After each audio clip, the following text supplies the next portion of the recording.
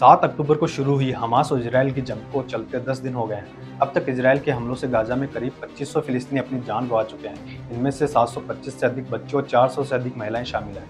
वहीं हमास के हमले में करीब 1400 इसराइली मारे गए हैं। ये जंग थमने के बजाय हर दिन लगातार बढ़ती ही जा रही है। युद्ध विराम के अभी तक दूर दूर तक कोई संकेत नहीं दिखाई दे रहे हैं। इसराइल और हमास की जंग के बीच अब अमेरिका के राष्ट्रपति जो बाइडेन ने कहा है कि हमास का खात्मा ज़रूरी है, लेकिन गाजा पर कब्जा इसराइल की बड़ी गलती होगी। उन्होंने आगे कहा कि इसमें कोई शक नहीं है कि हमास ने बर्बरता की है। इस संगठन का खात्मा पूरी तरह से ज़रूरी है, लेकिन इस जंग के बीच एक समाधान के तौर पर फिलिस्तीनी लोगों के लिए देश भी होना चाहिए। उनकी अलग सरकार होनी चाहिए। वहीं अगर इसराइल गाजा पर कब्जा कर लेता है तो ये उसकी बड़ी गलती होगी। न्यूज़ एजेंसी एपी के सूत्रों की मानी जाए तो आने वाले दिनों में जो बाइडेन इसराइल जा सकते हैं। एपी ने व्हाइट हाउस के एक अधिकारी के हवाले से कहा है कि बाइडेन की इसराइल यात्रा की डेट फ़िलहाल तय नहीं है, लेकिन वे जल्द ही वहाँ जा सकते हैं। दूसरी तरफ़ इसराइल की डिफेंस फोर्स ने हमास के हमले से पहले और बाद की सैटेलाइट फ़ोटो शेयर की है, जिसमें जली हुई इमारतें और काला धुआँ दिखाई दे रहा है। बताया जा रहा है कि इसराइल गाजा से लोगों को निकालने पर पूरी तरह से आमदा है।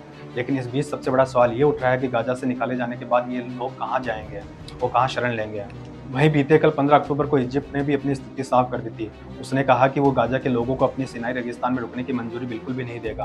वहीं खबर आ रही है कि इजरायली सेना गाजा में मिलिट्री ऑपरेशन की तैयारी कर रहा है। सेना के प्रवक्ता लेफ्टिनेंट जनरल डेनियल हेगेरी ने बताया कि हम हमले के लिए बिल्कुल तैयार हैं। सिर्फ़ सरकार की तरफ़ से हरी झंडी का इंतज़ार हो रहा है। इस बारे में हम उनसे लगातार बातचीत भी कर रहे हैं। इसी दौरान इसराइल के पीएम बेंजामिन नेतन्याहू ने 15 अक्टूबर को गाजा बॉर्डर पर इजरायली सैनिकों से मुलाकात की, लेकिन उन्होंने इस सवाल का कोई जवाब नहीं दिया कि इजरायली सेना जमीनी कार्रवाई कब शुरू करेगी।